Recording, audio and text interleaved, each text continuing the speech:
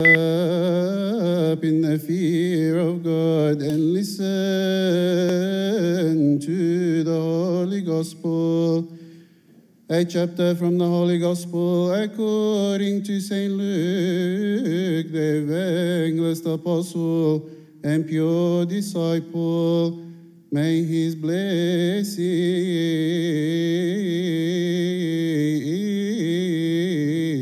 Be with us all.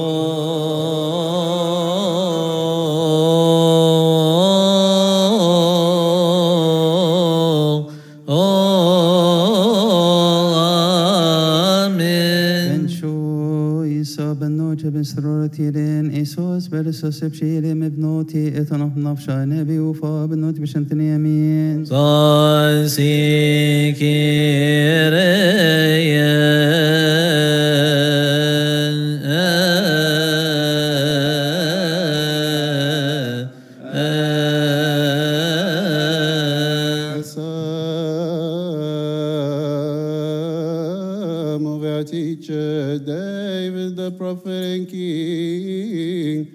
May his blessings be with us all. Amen. So we, your people and sheep of your pasture, will give you thanks forever.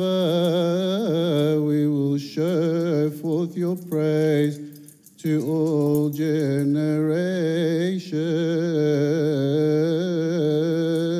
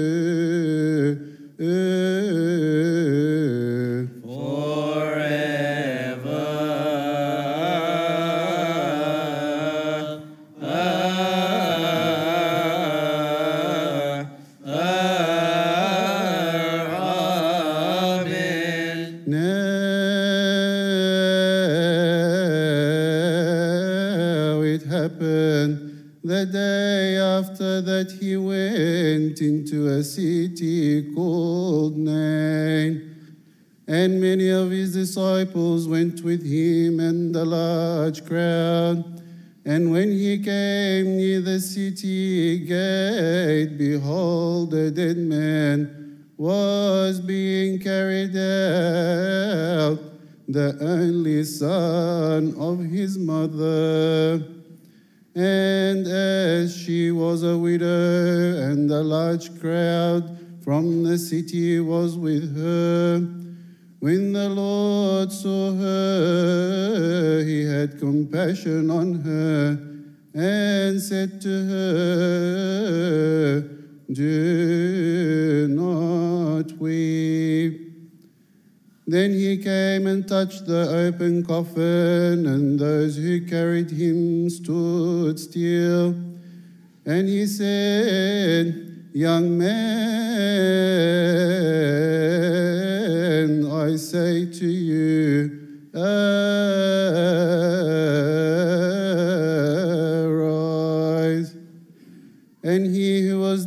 sat up and began to speak, and he presented him to his mother.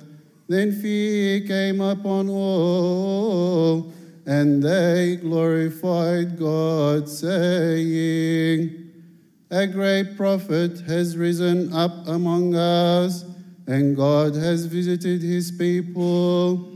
And this report about him went throughout all Judea and all the surrounding region.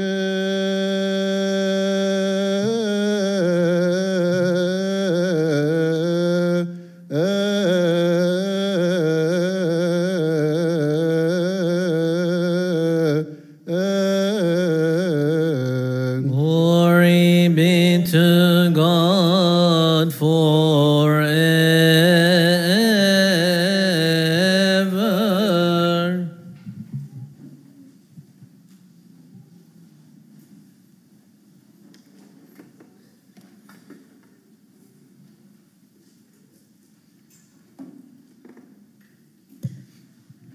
In the name of the Father, the Son, and the Holy Spirit, one God, Amen.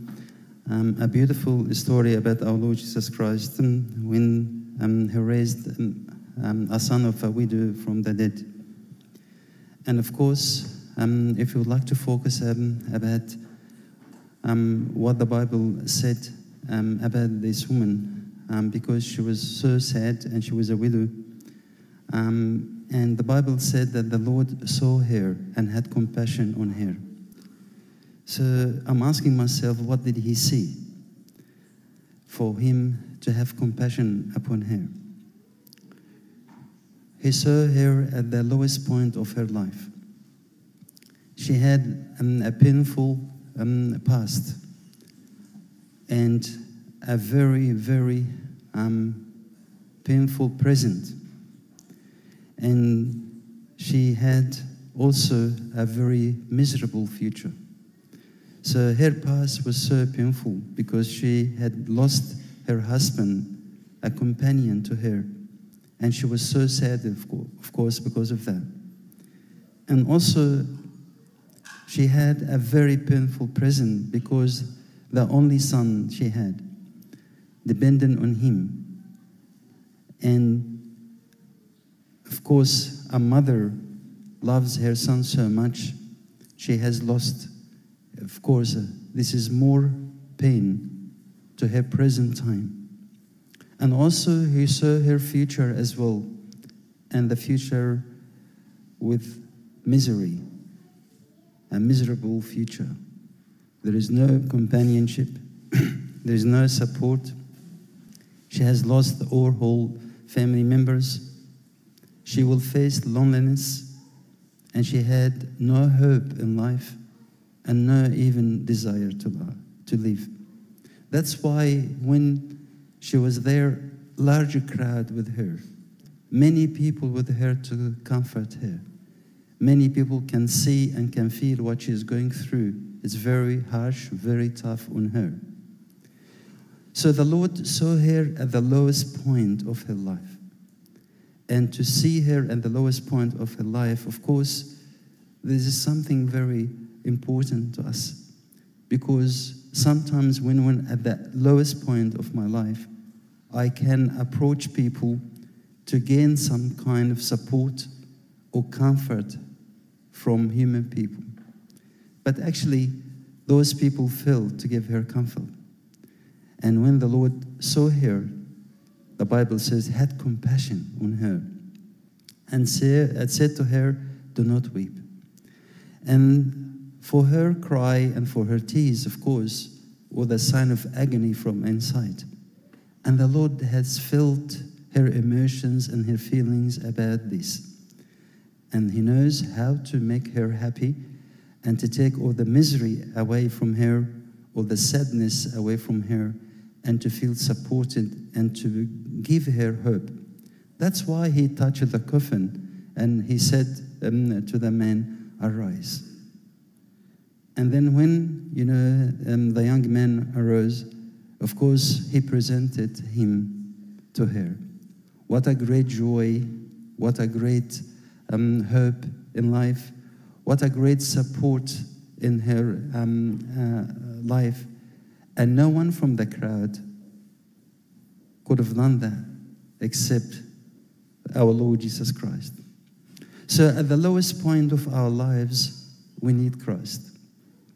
In any form or in any shape, we need Christ. He's the only one who's going to help us. When our Lord Jesus Christ has met the paralyzed man, he was, it was the lowest point of his life. He stayed for 38 years.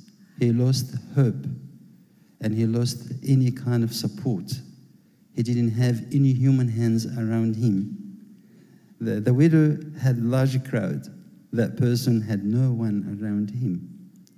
And also, in addition to all of this, he had the pain of his illness. He was sick. That was the lowest point of his life. But the Lord came up to him and said, Do you want to be made well? So the Lord himself approached him. It is exactly the same scenario when the Lord approached this woman and this widow. Was the lowest point, and the Lord made him well. Why? Because this is the role of our Lord Jesus Christ. He came to him to give him hope, to give him health, to give him support. Also, someone like the sinful woman, when he met her, this is the lowest point of her life. She was so sinful, and everyone knew that she was a sinful woman. She had tried many things, but meeting with the sinful woman that's at the lowest point of her life made her um, like you know saved. She was saved from all her sins. She was saved from even from that um, words and of the mouth of many people, sharp words criticizing her, making her feel so little. But the Lord has met her at the lowest point of her life and made her something very valuable. Even till now, we praise the sinful woman for her tears, and we use this um, gospel and in the midnight uh, prayer for us to copy her and to learn from her. She became like an icon in our church in, in the, in the, through the gospel, so we learn from her how the Lord has met her at the lowest point of her life. Also, those people, they had confusion in their lives, like the Samaritan woman. She had a lot of confusions. She had a lot of wrong concepts in her life. And because of the wrong concepts of her life, she was so sinful to the point that she lived with many people as boyfriend, girlfriend, and even the one like you know he lived with her even who wasn't her husband so that concept of life because of her confusion the lord has met her at the lowest point of her thinking thinking this is the life that she will desire to have in her life. But the lord has met her and saved her.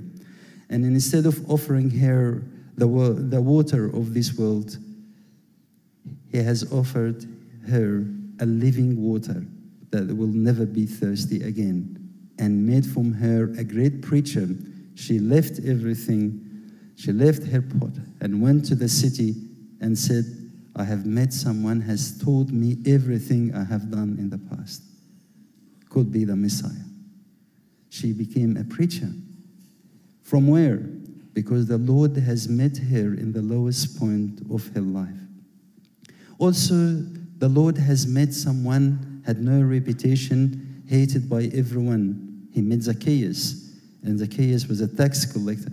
And of course, um, because of, uh, of this, like, you know, many people hated him because he used to, to, to charge them extra uh, for himself and also okay, for the Roman Empire. But at the same time, when he, the Lord has met him, and he accepted, like, you know, the invitation to go to his house, salvation has come to him. And he raised him from the lowest point of his life, okay, for him to become really, really a good example that he has welcomed Christ. So, meeting Christ at my lowest point of my life is so essential. Will make a great change in our life, will make a great impact and a great effect we are tossing by a lot of wrong concepts in life, where we have been suffering from a lot of psychological issues. And when I meet Christ, Christ will take this away from me and he will raise me to the level that he wants me to be at. So, meeting Christ is something really, really important for us. And as you see, the Lord touched the coffin and, and he spoke to the man to be raised. The same thing. We need to meet Christ so we can feel the effects of um, His presence in my life. The problem is we don't seek Him, and we have a lot of doubts about Him and a lot of confusions, and we see what is tangible around the world, and we enjoy these things, but actually we need to see there is someone okay will help us. Why? because the world will never give you satisfaction. You will be like in a uh, like a beggar every time I need to seek attention from people. I need to seek support from people. I need to, to enjoy life, and I need these pleasures and desires. And every time I will seek them, I will fail, and I will never be satisfied. And the world will put you down simply because nothing good is coming from the world. So to, today, it's a really a good opportunity for all of us. Lord, maybe uh, it doesn't seem to me that I am at the lowest point of my life. But consider me, okay, I'm the lowest point of my life. And I know you will appear to me and you will touch me as you touch the coffin of that person. And you raised him from the, the death that he went through. And be, when you, someone is going through that type of death, people, they need to see the difference. I will never be able to see that if I am like, you know, dead through the sin that I'm living in, except if I see the opposite, I see the resurrection. People, when they enjoy the sin and they are adapted to live in that sin and accustomed to live in that bad habit, usually I don't see there's other life I can have. But say to the Lord, Lord, even if I don't know what it looks like when I am with you, but I do have faith in you that you will appear to me at the lowest point of my life, to raise me from my sickness and my illness physically, or to help me to raise from the death of the sin that I'm going through any type of sin and any type of pleasures that I have. Lord, touch me and raise me. You have an opportunity today how when you Christ will touch you through his body and blood. Actually, it's the same action when he has done it to the, the son of the widow. He will touch you through his body and blood today. And by having that touch, having the faith in you that he is meeting you at the lowest point of your life, and he will raise you from the um, death of the sin. So every sin we do, any type of sin we do, either lying or um, having any kind of um, uh, pleasures or um, lack of forgiveness or hatred um, or any type of adultery, all these sins, the wage of the sin is death. So all of us were, are dead through that sin. And we need to raise from this death to enjoy the resurrection, exactly like that son. What a great joy for this widow when to see her son raised again. What a great hope in her life. What a great support. Um, what a great um, um, turning point for her life. I don't think she will look around and say, okay, Christ, like, you know, has done wrong to me. No, Christ has always um, uh, done good things to people, and people will remember what Christ has done. So for us today, um, we ask ourselves, I have done many things bad in the past. I have um, hidden a lot of sins no one knows. Could be my lowest point of my life. And I need Christ now to raise me from that death. Christ is willing to touch you personally today through his body and blood and to make your life completely different and you will see a different type of life people they make it so difficult for you to live will make the, like you know for you it's so impossible to live in this world with this type. I would say to you, many people they say it's very hard to, to live um, a pure life. In, it is impossible as um, a young um, teenager or a young youth to live a pure life. It is impossible. But how about the saints in our church? How about those people they lived the pure life? They could have done that without Christ? No, of course. They needed Christ in their lives to live this pure life. So call upon Him and say, Come and touch my life, touch my senses, touch my heart, touch my mind. So can I raise from, um, from that type of um, death that I am going through? And by doing that, as those people who look at it mm, and glorified him and said, God has visited his people by raising such a great um, prophet, the same thing, we're going to praise you, Lord, and glorify your holy name when I see myself at the lowest point of my life and you touched me. Glory be to God forever and ever. Amen.